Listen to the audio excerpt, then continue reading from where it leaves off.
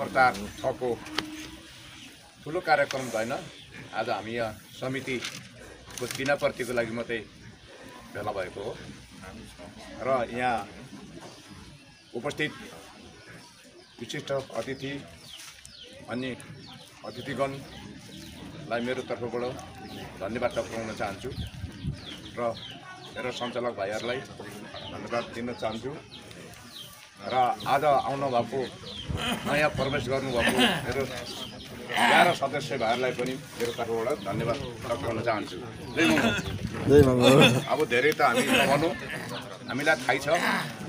कसरी थाहा छ भनेदेखि हामी मङ्गोल भनेको थाहा छ हामीलाई। तर हामीले बोल्नु नसकेको र चानस नदिएको मात्रै हो। अब हाम्रो लडाइँ भनेको मात्रै मङ्गोल र आर्य पार्टीको मात्रै हुन्छ। लडाइँ भनेको हाम्रो दुई पार्टीको मात्रै हुन्छ। काङ्ग्रेस साङ्ग्रेस एमाले सेमाले गोली मार्दै। अब लडाइँ भनेको दुई पार्टीको हुन्छ मङ्गोल र आर्य। यतिको मात्रै हुन्छ लडाइँ अब। अरू म जान्दिनँ म। जुनै पार्टीको पनि होस्। मैले यहाँनिर साझा भने हाम्रो अहिले अहिले पनि मैले कुरा राखेँ। मङ्गलम मङ्गलम मङ्गलम मङ्गलम सुहा भने अस्ति एउटा बाहुनले पनि सोधेँ यो धान किन लडाउँको देउतालाई चाहिन्छ। त्यहाँ कुरा निकाल्नु कि भने फेरि मैले छोड निकालिनँ। मलाई घरले रिस पनि उठिहाल्छ। अनि यिनीहरूले यति दबाएर राखेको छ। हामीलाई थाहा छ यो आर्य पार्टीले हामीलाई कति दबाएर राखेको छ भन्ने कुरो त हामीलाई सबैलाई थाहा छ। तर बोल्ने ठाउँ नपाएर ठाउँ नदिएको जस्तो डक्टर गोपाल गुरुङले तिन वर्ष जेल बसेर जेलभित्र जन्माएको पार्टी हो यो। अरू जस्तो पार्टी मामली पार्टी होइन अब हामी तल सानोबाट जग उठाएर अहिले हाम्रो जग मात्रै हो। घरमा रहनु बाँकी नै छ। जग उठाएर यो जगलाई बलियो बनाएर जानुपर्छ। यो पनि हामीले सक्सेस गरेर भएन भनेदेखि यो हाम्रो अन्तिम लडाइँ हो। यो अन्तिम योभन्दा यो सक्सेस भन्ने अरू विकल्प छैन। जस्तो लाग्छ मलाई चाहिँ।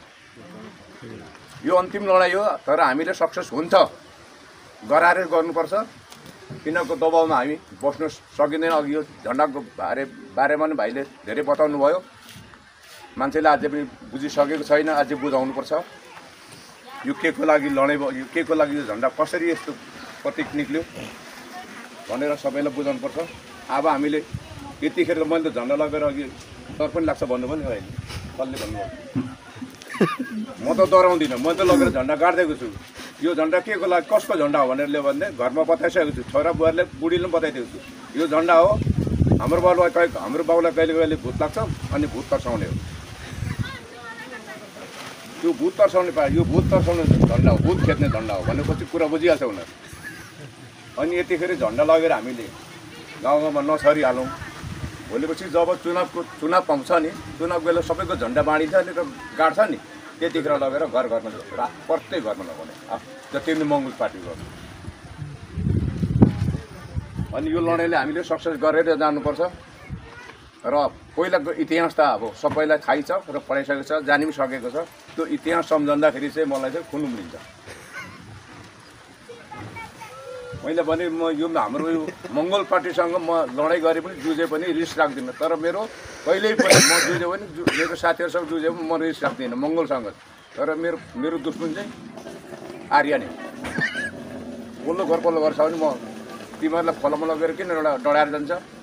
अनि हाम्रो मतवाली अविनरले त्यस्तै खालको नाम दिएको छ मतवाली नभन्नु भनेर भनिसक्नु भएको छ साथीहरू अब यिनीहरूले अहिलेभन्दा मतवाली भन्दा छिट्टो बुझ्छ पनि। अनि एमएनओ भन्यो भने एमएनओ भनेको के हो भन्यो भने बुझ्दैन। अनि मैले चार पाँचजना मान्छे त्यसरी सम्झाएँ।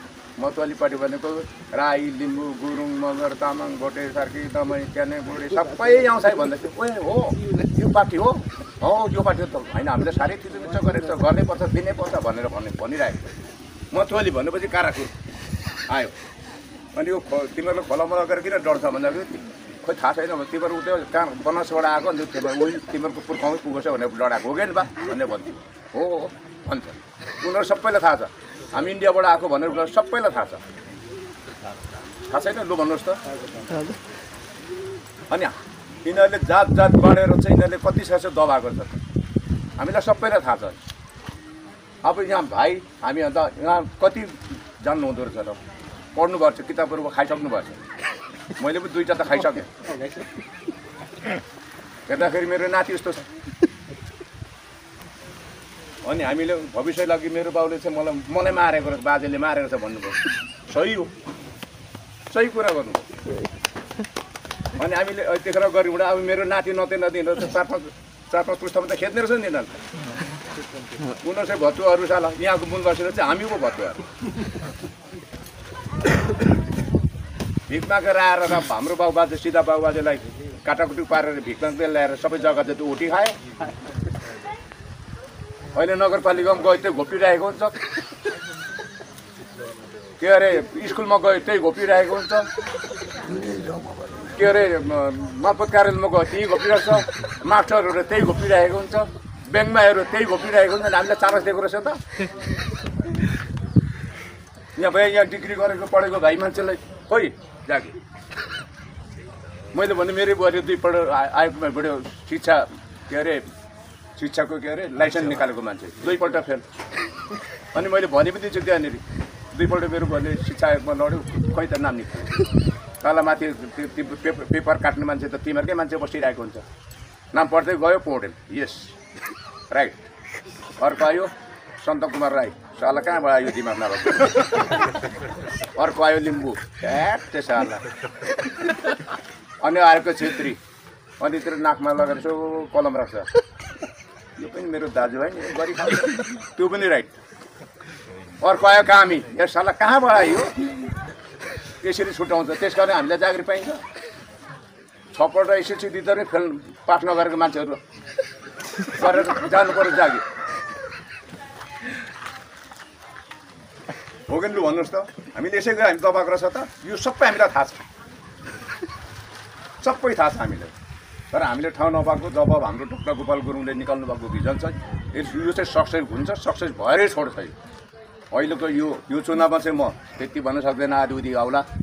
आधी उधीलाई चार पाँचवटै मान्छे सिंहदरमा छिर्नु पायो भनेदेखि।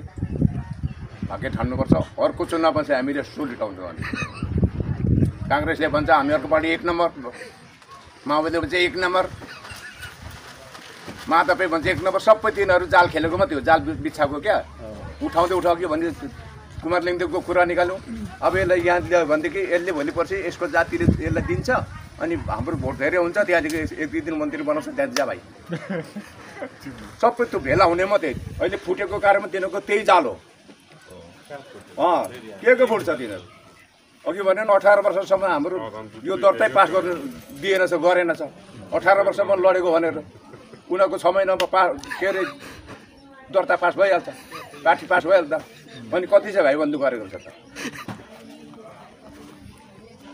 तिनीहरूलाई नि यो यो हामी अहिले जो राजनीतिक क्रान्तिबाट लडेर जानुपर्छ यो पनि सकलको धारा लिएर इन्- इन्डियातिर सोइ हो उसको त्यही त छ नि त्यही निकालेको छ नि त अन्तिम त त्यही हो नि तपाईँ हामी जुद्ध जुद्ध जुद्ध जुद्ध गऱ्यौँ अब मभन्दा भाइहरू बलियो छ हान्छु दुई चार बक्सिङ म सकिनँ लास्टमा छुरी निकाले हान्नु पऱ्यो नि त्यही हो हानेर पनि खेदाउनु पर्छ हानेमा खेदाउनु भयो हो त्यही हो अन्तिममा योबाट सक्सेस भएन भने पहिला खुन नबगाइकन जाउँ लडाइँ नगरी जाउँ भन्ने कुरो हो सत्तरको पनि खुनै हो सबै काटे खुन सबैको एउटै आउँछ मान्छे मानव एउटै हो तर अन्तिम विकल्प चाहिँ त्यसलाई त्यही त्यही नै हो।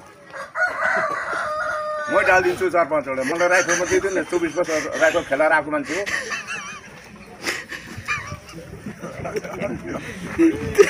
अझै पनि अझै पनि पन्ध्र बिस वर्ष त सक्दैन छ त्यो गर्नु हालिदिन्छु ल यति भन्दै आज आजको मेरो शब्द यति नै राख्छु। टाइम पनि जय मङ्गल।